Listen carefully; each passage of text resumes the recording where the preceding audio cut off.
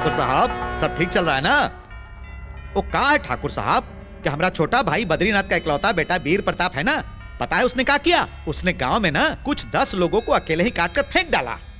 अब कहा है कि हमारा वो मुन्ना, उसने आपकी बेटी को किसी की शादी की सीडी में देखा और उसी दिन से वो हम शादी करूँगा तो उसी से करूँगा, वरना ज़िंदगी भर कुंवारा रहूँगा, ऐसी जिद पकड़ के बैठा है। उसने मुझसे कहा कि ताऊ जी आप लड़की वालों से मिलकर मेरी शादी पक्की करो। हाँ तो ठाकुर साहब हम बात पक्की समझे ना। ए, उठ बे उठ। हम्म। तुम्हारे भाई का लड़का कितना नीच है ये बात सारी दुनिया जानती है। सोच कैसे लिया कि मैं अपनी बेटी की शादी उसके साथ करूँगा? नहीं ठाकुर साहब जब से वो आपकी लड़की को देखा है हमारा भतीजा बिल्कुल सुधर गया है। अपनी माई की कसम खाता हूँ। इंसान सुधरता है जानवर नहीं। देखिए ठाकुर साहब आप हमारे भतीजे को अच्छी तरह से जानते नहीं इसीलिए ऐसी बात कर रहे हैं। सीधी तरह से उसे अपना दामाद बना लीजिए, वरना अंजाम बुरा होगा। ये तुम्हारा अड्डा नहीं है। मेरा घर है ये। तुम्हारा इस चौखट पर कदम रखा। मेरी बेटी की तरफ़ देखा भी तो वो तेरी ज़िंदगी का आखिरी दिन होगा।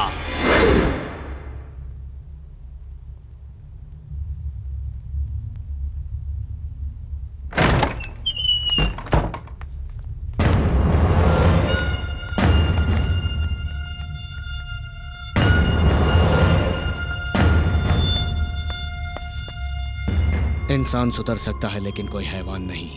भाई मैं इसे लाकर आपके कदमों में डाल दूँगा। आप इसका रेप कर देना तब ये खुद ही आपसे शादी कर लेगी। अरे बुड़पाक तूने अपने ही आदमी को मार दिया। गुनाह किया। गुनाह किया है उसके बारे में इसने गलत कहकर वो मेरी होने वाली बीवी है उसकी इज़्ज़त लूटने की बात करता था। अरे लेकिन शादी के लिए ठाकुर को मानना भी तो चाहिए ना। उसके मानने न मानने से कोई फ़र्क नहीं पड़ता। हम दोनों की शादी होकर रहेगी। मेरी बीवी हैदराबाद के कॉलेज में पढ़ रही है। उसे उठाकर ले आओ।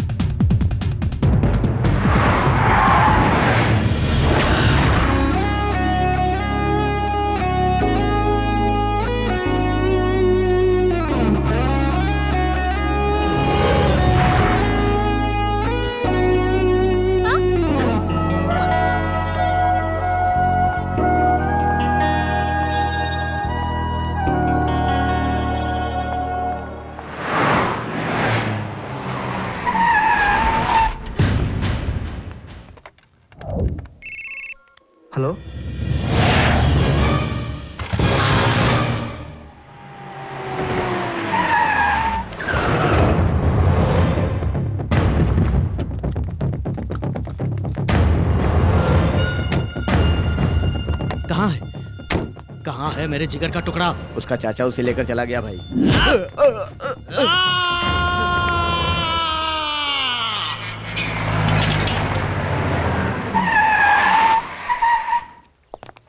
अंजू? पापा इस तरह अचानक आपने मुझे क्यों बुलाया? तुम्हारी शादी तय हो गई है बेटा। ए बिटिया को दूल्हे का फ़ोटो दिखाओ। पापा। क्या है बेटी? मुझे ये शादी नहीं करनी। करनी पड़ेगी। विजय ठाकुर। जी भाई। शिवा ठाकुर को संदेश पहुंचाओ कि वो शादी की तैयारी करे।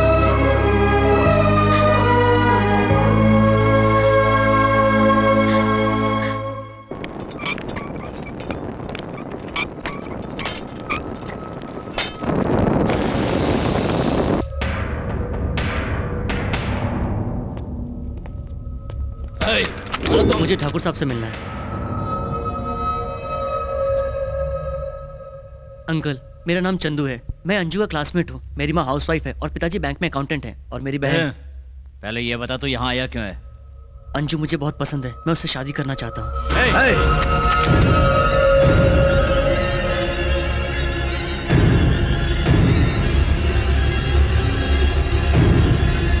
हमारे यहाँ औरतों बच्चों और मासूम लोगों पर हाथ नहीं उठाते। जा यहाँ से। अंकल लेकिन दोबारा कभी आसपास भी नज़र आने की नादानी की ना तो इस दुनिया में नज़र नहीं आएगा तू।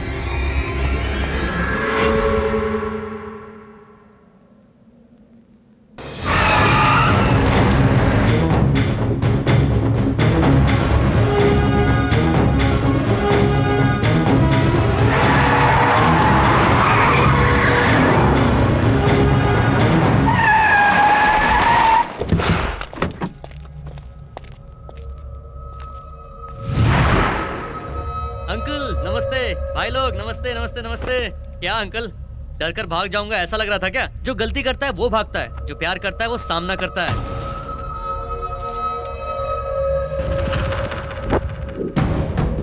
उस लड़के में क्या खास बात है? और मुझमें क्या कमी है? ऐसी कोई एक वजह बताइए मुझे। आ, आ, आ, आ, आ, आ, आ,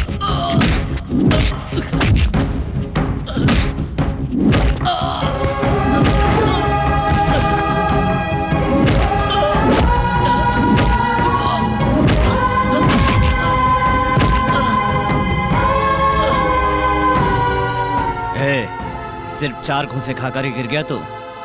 तो तू मेरी बेटी को क्या संभालेगा? यहाँ की लड़कियों से शादी करने वाले मर्दों ने कभी ज़मीन पर गिरकर हार नहीं मानी। हर तूफ़ान का सामना करते हैं वो।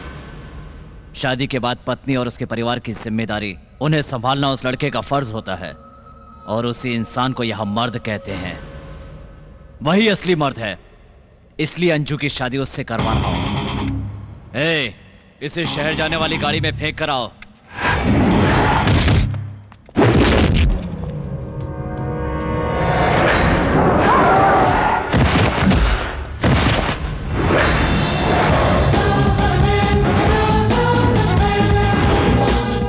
अंकल, अगर मारना ही क्वालिफिकेशन होता है और जान लेना ही मर्दानगी होती है तो मेरी यूथ कैपेसिटी क्या है? मैं आपको कब का दिखा देता? किन किन को किस किस तरह मारने से आप अंजू की शादी मुझसे करवा देंगे? बता दीजिए, मैं वैसा ही करूँगा। सब एक साथ आएँगे तो थोड़ी प्रॉब्लम होगी। लेकिन चलेगा, ये मजनू नैला के लिए कुछ भी करेगा। आओ सालो, आओ।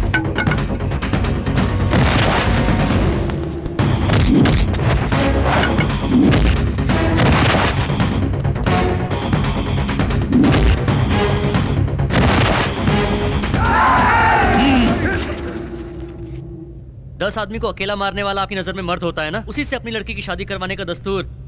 ठीक नहीं है, अंकल? जिस लड़की को जान से ज़्यादा चाहने वाला आशिक हो। अगर उस लड़की पर कोई भी आफत आए तो वो आफत का पुजारी चाहे ओसामा बिन लादेन हो, दाऊद इब्राहिम हो, चाहे यहाँ का बहुत बड़ा गुंडा हो, या उसके बाप का बाप हो, इसकी जात का साला कोई भी भाई हो एक एक ज़बरदस्त बजा डालूँगा मैं, समझे क्या!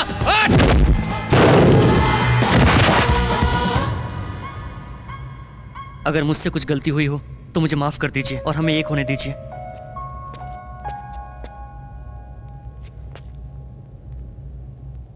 अंजू के साथ साथ फेरे लेने के बाद ही मैं इस गाँव से बाहर कदम रखूँगा।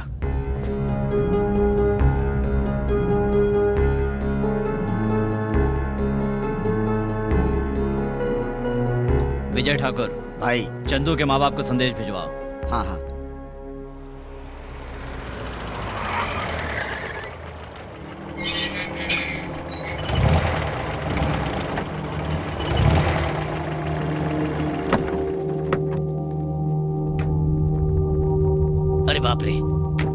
मैं क्या देख रहा हूँ? शादी की बात करने इतने लोग आए हैं तो शादी के वक्त कितने लोग आएँगे?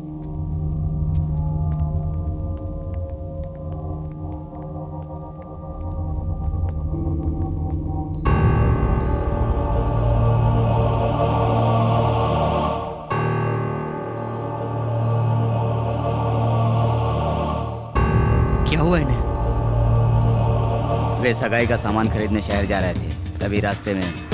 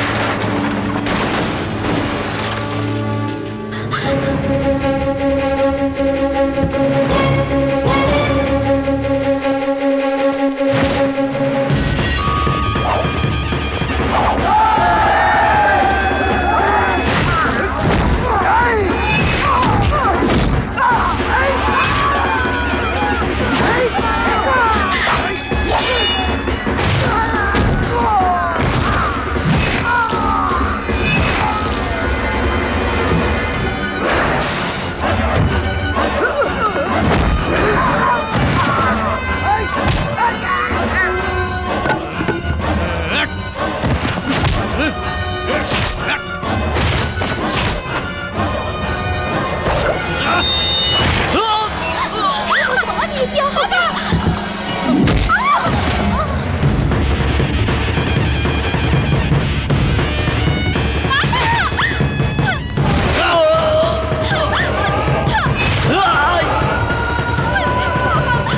शादी मुझसे न करवा कर किसी और से करवा देगा और मैं चुपचाप देखता रहूँगा। तुझे क्या लगता है मैंने चूड़ियाँ पहन रखी हैं!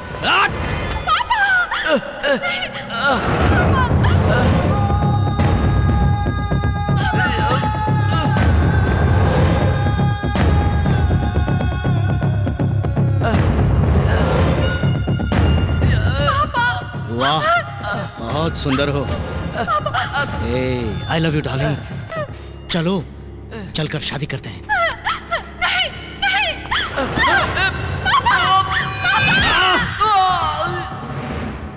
वो कहाँ रहता है? कोपरी नाका।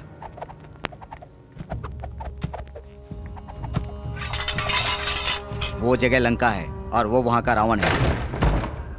उसके हाथ से नंदू को छुड़ाना अपनी मौत को दावत देने के बराबर है। तो क्या? हम छोटी मालकिन को वहीं छोड़ दें? हम अपनी जान देकर भी उन्हें छुड़ा कर लाएँगे। चलो दोस्तों। हाँ चलो रुक चलो। जाओ। अंजू की खातिर तुम लोग अपनी जान गवाओ। ये मुझे मंजूर नहीं।